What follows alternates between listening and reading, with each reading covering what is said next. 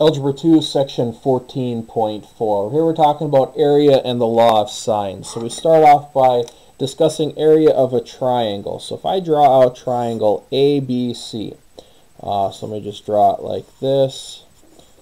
I have triangle ABC right here.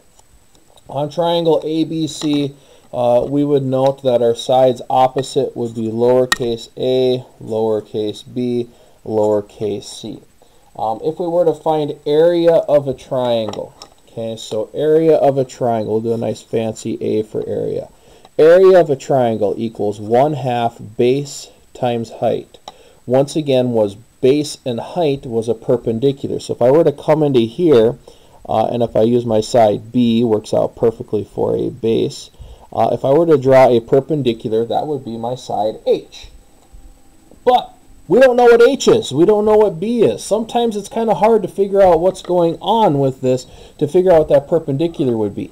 Uh, well, if we were to note one thing on here, we were to see that this angle right here, uh, once again, angle A, uh, could be used to figure out what this is because right here, this would give us a right triangle. So I'm just going to come down here and I'm going to give a right triangle, just kind of trying to get that same perspective right here, where this is A, um, this now is my angle right here on reference. This was side C and this was H. So if I were to consider this, I would know, and a right triangle here, sine of angle A equals that opposite on that right triangle. Let's get my right angle here. Um, so H over the hypotenuse of C. So that means H would equal sine A and then multiplied by c. So my height is this right here. So if I come back up, I have 1 half times, um, I would have b for my base. This would be my overall base right here. And then my height would be sine of a and then times c. So what we see, kind of clearing this up, we have 1 half base or b times c times sine of a. So what we find out is we find out that given the area of any triangle, okay, so the area of any triangle, uh, we could have 1 half b times c sine of a, or we could go 1 half a times b sine of c. Once again, that's referencing this over here. Or we could go 1 half AC sine of b.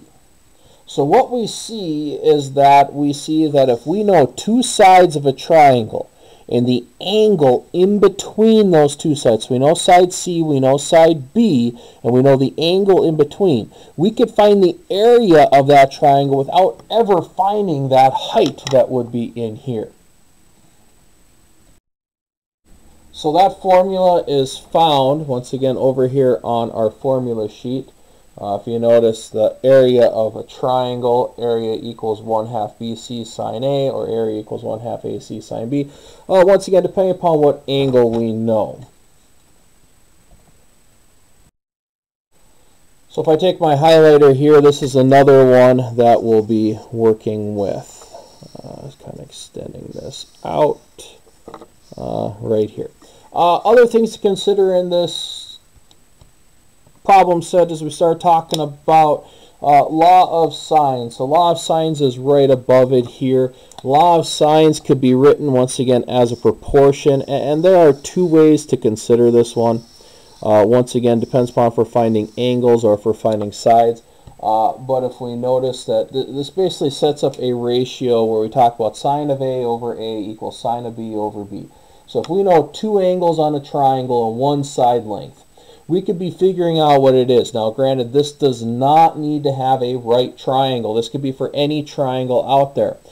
Now, do realize there are some issues to law of sines. Uh, we'll discuss the ambiguous case of it uh, once again because law of sines cannot distinguish uh, between an acute or obtuse triangle. Uh, once again, depending upon the way the situation is presented. Uh, so let's start looking at some examples here. Um, let's go to question number six in our textbook. So on question number six, uh, they give us this triangle. They tell us that we have a side length of 8 centimeters, we have a side length of 6 centimeters, and an angle in between is 51 degrees. They tell us to find the area of this triangle. Okay, so if we're going to find the area of this triangle, it's going to equal 1 half the product of our two sides times the sine of the angle in between. So once again, we know this side, we know this side, we know the angle in between. That's a requirement for this area formula. Uh, given this, we just type this into our calculator uh, and we get 18.7 centimeters squared. The problem set told us to round to the nearest tenth of a unit. Um, if we go to number 10, okay, on number 10 here, they tell us that we have this given triangle. Uh, once again, this obtuse triangle looking like this, uh, where this is 48 degrees. They tell us this is 21 degrees, and then they tell us this is 7.3, and they ask us to find this side right here. Now, do realize that no matter what is going on, as long as we know two angles on a triangle, we can calculate out the third angle and we can apply law of sines.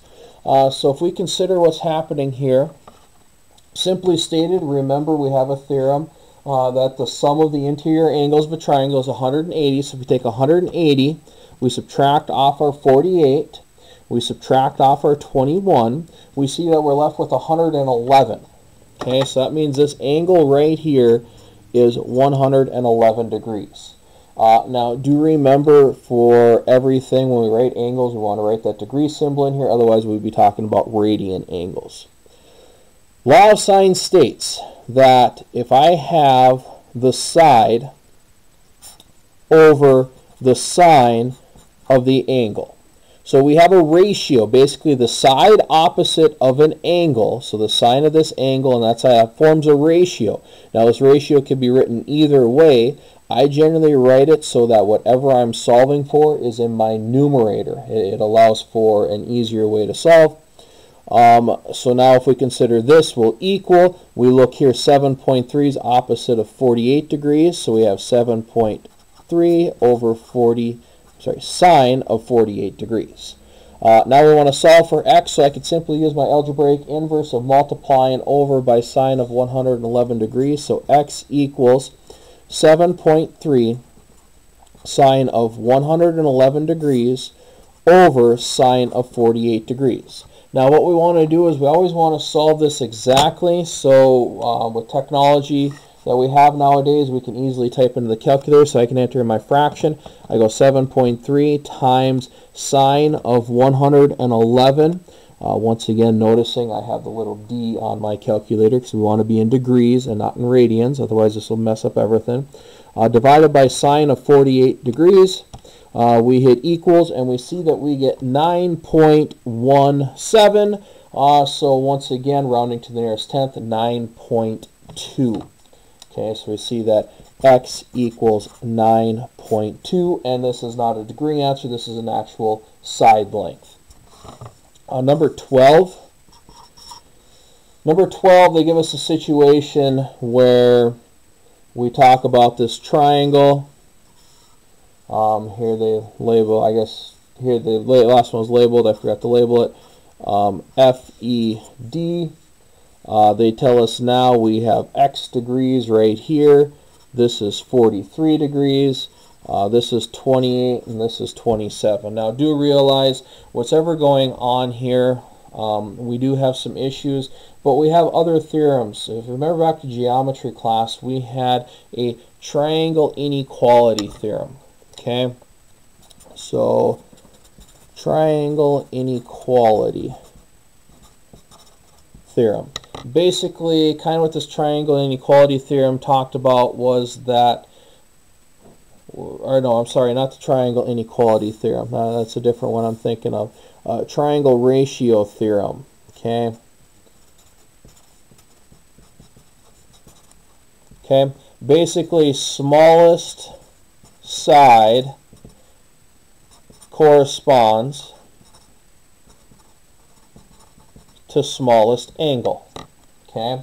So that means that if 28 is opposite of 43 and 27 is opposite of this, whatever happening here, it should be smaller than 43. Okay, so it's just a good way to kind of generalize your answer to realize that, hey, uh, this is what we have going on. So now we want to solve for x here. So I'm going to go sine of x degrees over 27 equals sine of 43 degrees over 28. Once again, the angle and the side opposite will form a ratio, and then any parts of this ratio can be said equal to each other. Um, so now we want to solve for x here. So what we go here is I go sine of x degrees equals, I'm going to multiply over by 27. Okay. And then now we got to finish solving for x. Now do realize this is a very horrible, ugly, irrational number right here. Um, so we're going to state x is going to equal the sine inverse. And then for work purposes, this is all I show, okay? Because I don't want to keep rewriting, rewriting, rewriting, because I'm going to have to type this into my calculator. Okay, so I'm going to have to come in here now, and I'm going to have to go sine inverse. Uh, we have 27 times sine of 43 degrees and then over 28 once again making sure to close parentheses uh, some calculators it won't matter as much. Others will be very particular with this. Do realize this entire thing is inside that sine inverse.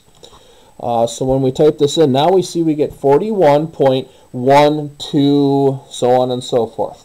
Uh, so once again, toast round to the nearest tenth. So we go x equals 41.1 degrees now because this is an angle measure, uh, which does make sense because 27 is smaller than 28. Uh, so 43, so our answer must be smaller than 43, but because these numbers are close, we should be fairly close to that 43, so we're seeing that we're within the ballpark of what's happening there. Um, depending upon what's happened with all these situations, there's so many different things we can look at. One of the biggest problems and biggest issues is always being able to draw the picture. Okay, so let's look at number 18. Okay, on number 18, now they have a picture drawn for us, um, but I'm going to describe the picture and draw it um, looking at the problem itself and not actually their picture. So a forest ranger in an observation tower sights a fire 39 degrees east of north. The ranger uh, in tower 10 miles due east of the 10 miles due east of the first tower sights the fire at 42 degrees west of north. Okay, how far is the fire from each tower? Okay, so basically we have two ranger towers. Okay, so we have one tower right here. Okay, so we do like a little hut. And then we have another tower. Make this one a little fancier. It's like a little lighthouse type. So better quality one. Maybe a newer one or a better Ranger versus this other one. Um, we look at this and they state that this tower and this tower, so I'm just giving them some point locations here, as if we were looking on a map. They are due east. Okay, so once again, when we consider, we have north on a piece of paper is generally upward. Uh, so one is due east of the other one, and they are 10 miles apart. Okay, so we have 10 miles apart. As they're looking out here, they see this fire. So it says uh, one sights the fire 39 degrees east of north. So here would be our north line. Okay, so from each tower, this would be our north line on here. One sees it 39 degrees east of north. The other one sees it 42 degrees west of north. Okay, so if I draw my lines on what they're looking at, this is going here. Just draw that line of sight out and this line of sight out here. Where it crosses right here, this is where our fire is at. Okay. They ask us basically how far is it from each tower. Okay, so we want to know how far is it from from each tower. So if I come here and I say, okay, this is my x, this is my y. So I'm going to say let x equal miles from east tower and then y equal miles from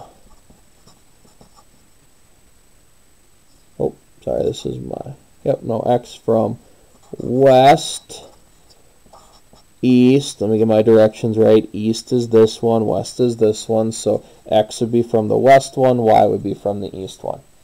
Um, so now basically we need to figure out well hey here's our triangle but we know absolutely nothing in between here. Uh, but what we do know is we do know what these angles down here are going to be Okay, once again, because of what's happening, we know that this is 39 degrees, and if this is north and this is due east, this is a right angle here. So if I take 90 minus 39, that is 51 degrees, making this then be 48 degrees. Okay, so if this is 51 degrees, this is 48 degrees. That leaves me with 81 degrees left here.